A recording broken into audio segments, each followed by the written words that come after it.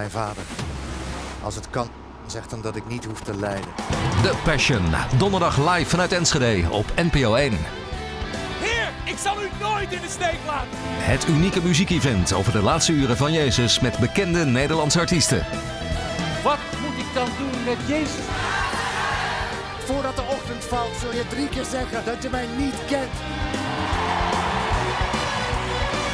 The Passion. Live vanuit Enschede. Donderdag bij de EO en KRO op NPO 1.